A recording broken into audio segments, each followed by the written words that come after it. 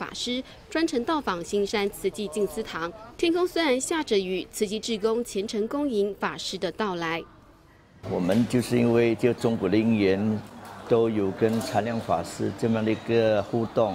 今天难得禅亮法师来的因缘，是为了要庆祝马来西亚佛种分会二十周年庆。禅亮法师是想要实际也一起来共襄盛举，因为今年刚好马来西亚佛教总会，呃的佛州分会呢成立二十周年。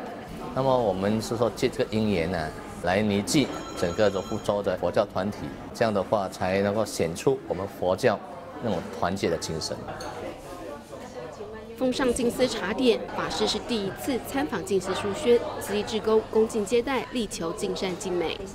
因为有负责人的指导，还有其他师兄姐的陪伴，我想。应该就是体现我们慈济的人文哈，然后用我们的诚意情去接待，比较可以圆满呐。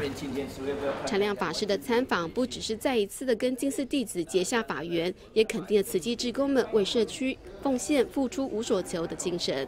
大爱新闻，真善美职工马来西亚综合报道。